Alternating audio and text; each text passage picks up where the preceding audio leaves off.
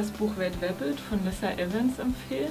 Es ist 2018 erschienen und wie man schon an dem Untertitel Don't Love, He's Dangerous sieht, ähm, ist der Velvet nicht so lustig, wie er sich anhört, sondern er ist ziemlich gefährlich.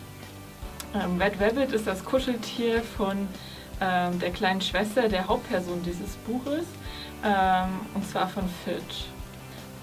Ja, es ist eine Art moderne Version von Alice im Wunderland und äh, Fitch und ihr ko ziemlich komischer Cousin Graham geraten auf mysteriöse Weise in das Land der Wimpleys und dort müssen sie eben feststellen, dass viele Kuscheltiere der Schwester lebendig geworden sind und äh, nicht alle nur etwas Gutes im Sinn haben.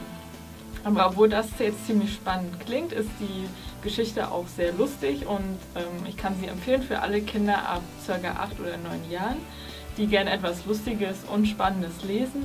Und auch für Erwachsene ist das Buch noch ziemlich lustig und man kann es in der North Vancouver City Library ausleihen.